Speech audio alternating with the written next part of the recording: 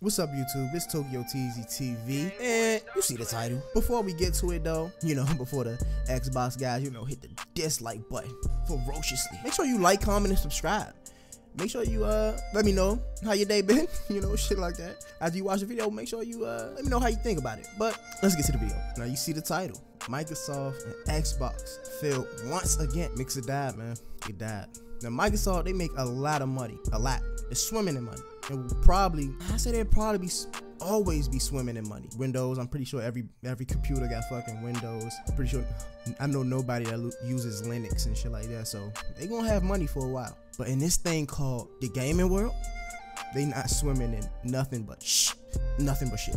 Now I was gonna put a little bit more emphasis on it, but they ain't swimming in nothing but shit. You know, they bought Skype and it failed like immediately after they start after they bought Skype. I think Skype was doing alright before they bought it, but you know, I don't want to be talking on my ass, so I'm I'm I'm gonna skip that. So as you guys may have heard, the magnificent website known as Mixer has went under, and many people aren't really surprised by this at all, really.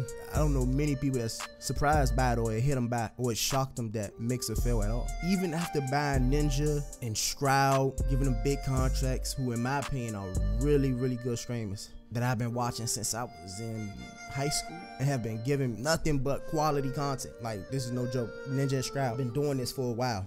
I was watching Ninja when he was playing Halo back in the day on Twitch. Like that's how I found it. Dude was a beast in that game. And Shroud, he's just a beast in every game. Love Shroud when a new FPS come out, I go straight to him. And like I said, they've been giving nothing but quality content since I started watching them, which was like eight years ago when I first started watching Twitch. Twitch, Twitch been out for a while, y'all. Even after buying those juggernauts, the website did not grow at all. While YouTube gaming, Twitch, and even Facebook gaming, Facebook out of all website, man, man, fuck Facebook. I hate Facebook. It's a horrible site.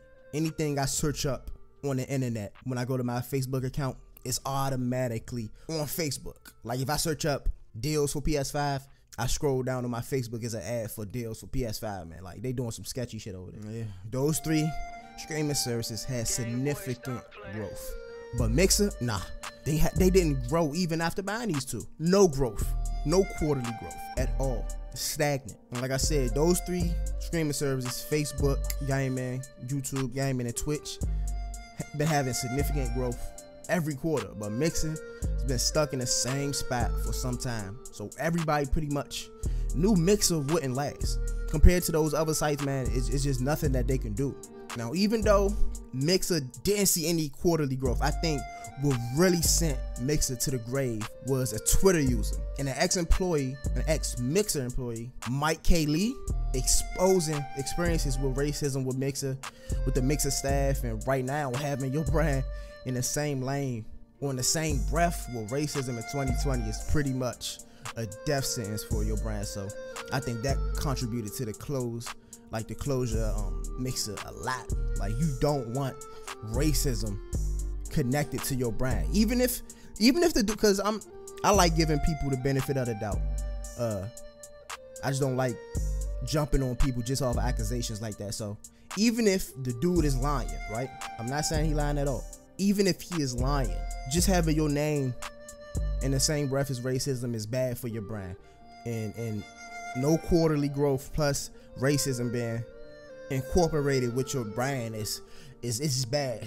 It's all around bad in 2020. Now, if you have been following the gaming industry since the release of the PS4 and Xbox One, Microsoft and Xbox has been in a been a meme pretty much pretty much a meme and a failure in the eyes of gamers since 2013. They haven't been able to gain any good dealings around that in the eyes of gamers since that time. If something is associated with Xbox, gamers automatically see it, see it as a failure. And I don't think it's wrong to assume that. When Xbox exclusives don't sell as much as Switch or PS4 games and the consoles always lose when it comes to sales against the PS4 and even the Switch, which came out three years after the Xbox One and already sold more than the uh, Xbox One. It's crazy, man. The Xbox brand is just known for failure. And me personally, I like the Xbox One and play the Xbox One more than my PS4, but Xbox is just a, a L. like, it's just an L in the eyes of gamers. The first problem with Mixer was not giving PlayStation gamers the Mixer app on PS4. Giving them the option to stream and enjoying the already prevalent mixer streamers would have been big for them. Would have been big. I watched man Twitch on my Xbox for years before I started watching it on my uh, desktop. Having the Mix app only on Xbox One almost guaranteed that Mixer wouldn't grow. PlayStation gamers won't go out their way to watch Mixer on other devices, man. When they can download Twitch on a PS4 and enjoy streams that way, you know? Why would they do that? Why would they go out their way to watch Mixer, even though it's it's not too much a hassle, but why would they go out their way just to watch Mixer when they could just, you know, watch Twitch on their PS4? Why wouldn't they put Mixer?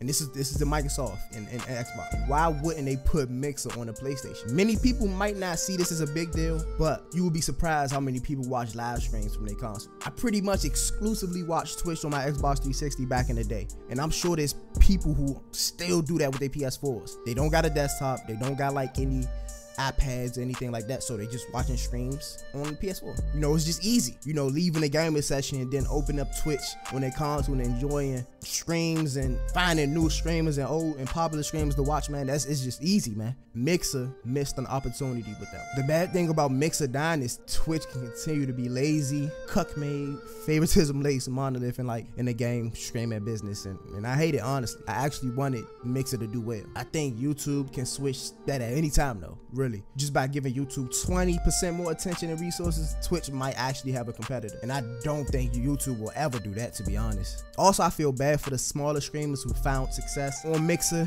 and now they basically have to start from scratch and undergo the grind once again. I feel bad for them and pray that they're able to bounce back from this and find success on whatever streaming platform they choose to continue their journey on. Now that's the end of the video. Let me know what you think about this whole situation. Let me know do you think Microsoft and Xbox are just gonna continue failing when it comes to anything related to gaming? And yeah, just like, comment, and subscribe, man. I, I wanna I wanna hear you guys' thoughts. Let me know. Give me other topics to talk about, man. I wanna do more gaming news uh, videos, more of these discussion videos, and once I learn how to edit better, I wanna do even gaming reviews. So just make sure y'all hit that like button, comment, and subscribe to give me more motivation to keep doing it, man. Thank y'all for watching this Tokyo Teezy TV, and I'm out. Peace.